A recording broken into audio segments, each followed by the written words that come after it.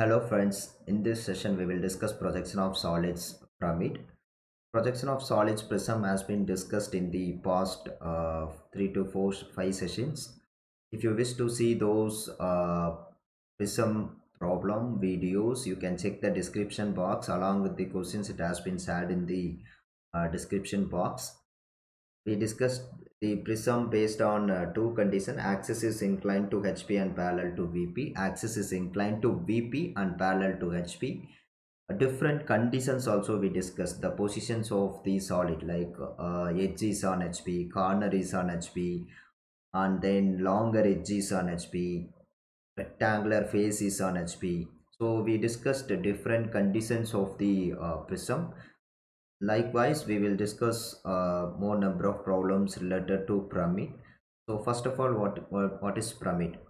So at the base we will have one plane surface. If the plane surface is hexagon we can say the name of pyramid as hexagonal pyramid.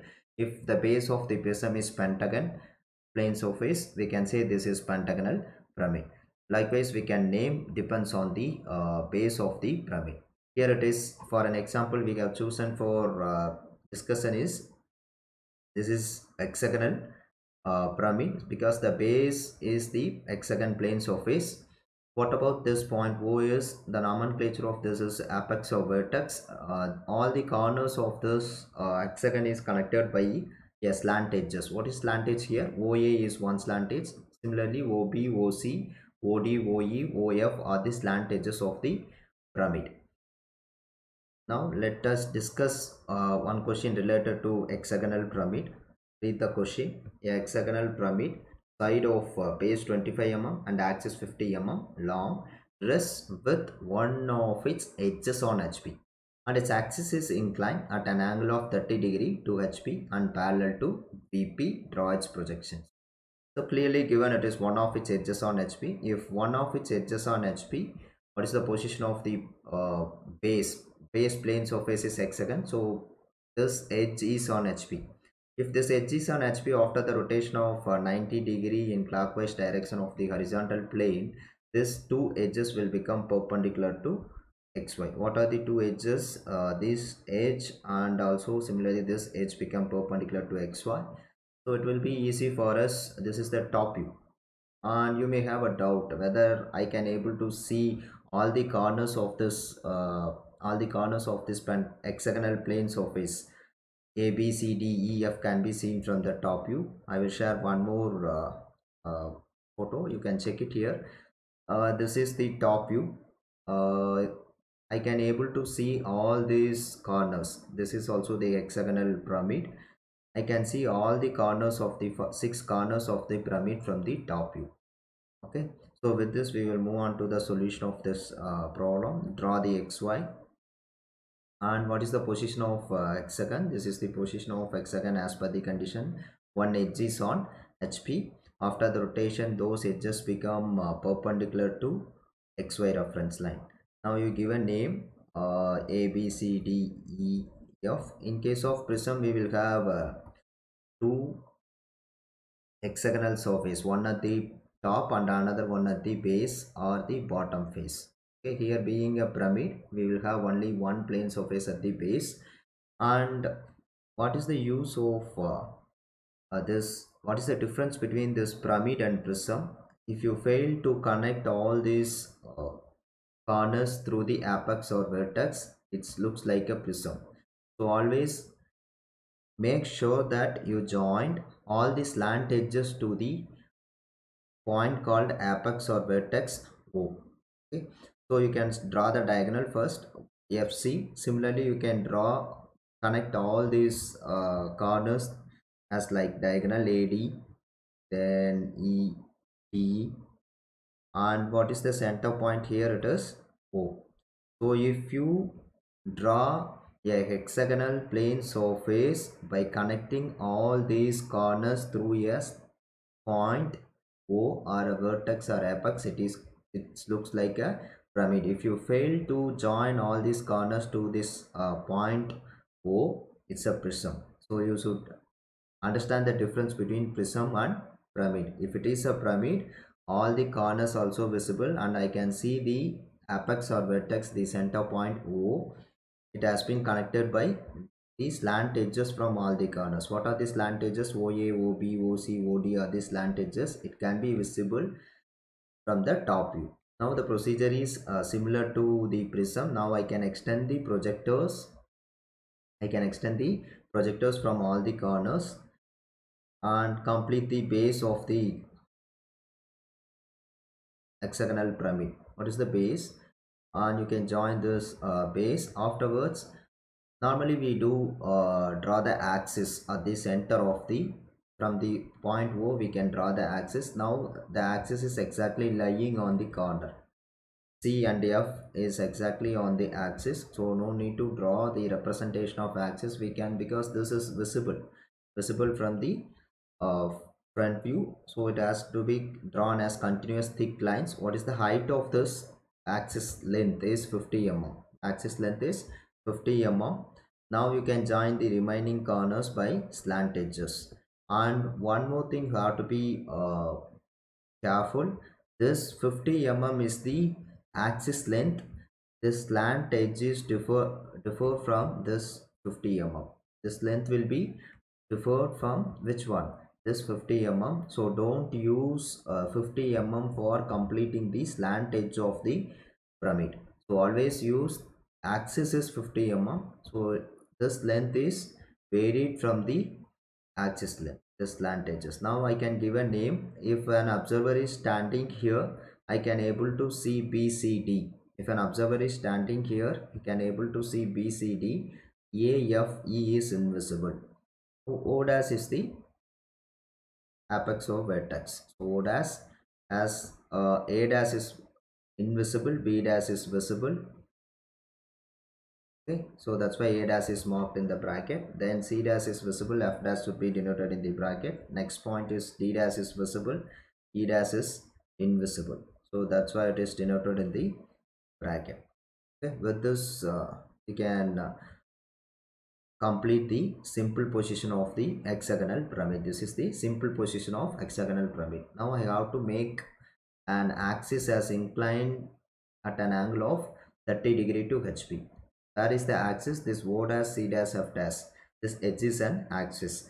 So you can take any point on the xy reference line or any point on the xy reference line you mark a 30 degree inclination without any specific length you draw a thin line.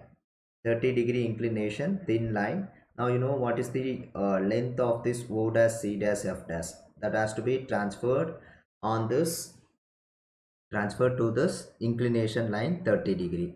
Before that what is the distance? You have to reproduce the same simple position front view. B dash a dash to d dash e dash you can measure using scale. Draw the midpoint exactly on this inclination line okay? So how it has to be represented? And make sure that one edge is on HP. So here I am having AB, ED. Always uh, we will prefer right side edge if, because if I tilt the left side, use the left side edge, it may touch this front view. Okay, so always use left side edge. Here the left edge is ED. It should touch XY because this edge is on HP. Now I have to reproduce this same uh, front view here on the in inclination line of 30 degree with respect to HP and give a notations uh, as it is in this simple position front view this is simple position front view. After the completion of this simple position uh, reproducing the simple position of front view in the step number three you can extend the projectors from this uh, front view as well as from this top view. Step number two and three. Both the uh, respective corners will meet at one point. For an example now this is corner a a and e lies on the same projector. Here it is a dash you can extend the projectors. Both will meet at this point. Make it as a1 then b dash also lies on the same projector. Here this is uh, corner b.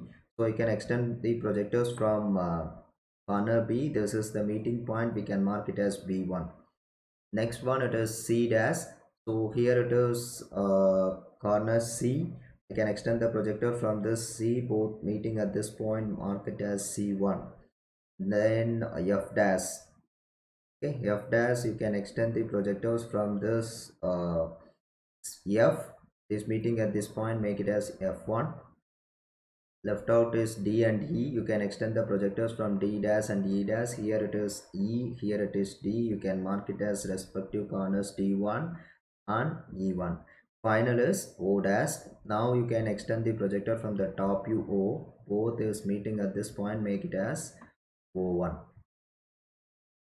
now what we did in the prism?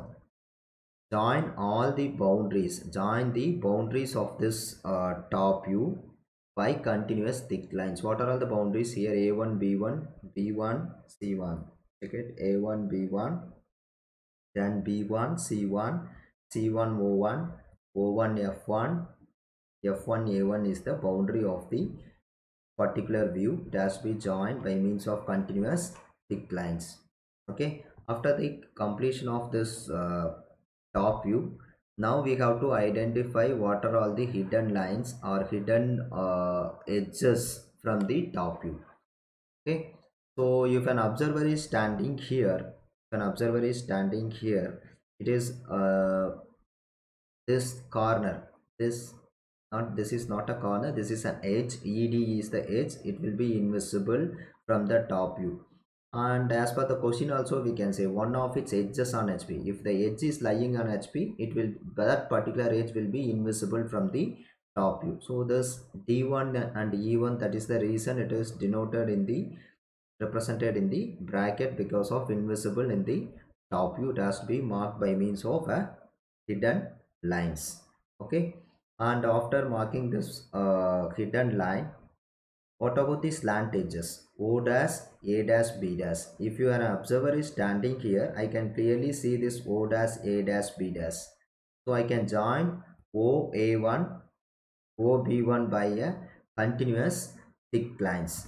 Before that, we, we can complete the shape of hexagon.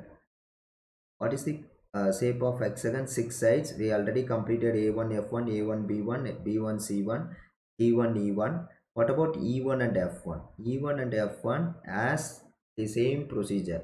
Bottom half of the what is the bottom half of the uh, front view? This c dash d dash e dash f dash is the bottom half of the base edge in the front view. Okay. Top of is a dash b dash and c dash top bottom of is c dash d dash e dash f dash it is always invisible from the top view so f dash f1 and e1 can be joined by means of hidden lines. Similarly, c dash d dash. So cd is invisible from the top view. Now the hexagon is completed. The base is completed. Base is the hexagon surface. It is completed. Now we can go for slant edges. OA, OA dash, OB dash will be visible from the top view. O dash a dash o dash b dash can be visible from the top view. It has to be joined by means of continuous thick lines. So o1 a1 o1 b1 is visible for us from the top view. O dash will be visible but this d dash e dash is invisible from the top view. So we can say this bottom slant edge this slant edge o dash d dash e dash is invisible for an observer from the top. View it has to be joined by means of hidden lines. O1 e1 o1 e1 so this is the final answer of this question. It is very easy as like uh, prism projection of solids. Only thing you have to remember two changes. Instead of rectangular faces here the triangular faces and in the front view wherever you are drawing the base you have to join all the corners through the apex or vertex if you missed these uh, slant edges OA, OB. If you miss to connect all the slant edges to the point O, it will be prism. Then what happens? Top view looks like a prism, then front view looks like pyramid if you fail to connect all the corners or all the slant edges to the apex or vertex means then your entire concept will be wrong. Top view looks like a prism, then uh, front view looks like a pyramid. So always ensure whether you have joined all the slant edges to the apex or vertex point called O. Okay, this has to be make sure that whether you completed or not. still if you have any uh, difficulties in solving this particular problem you can uh, give a comment uh, to the uh, comment box. And I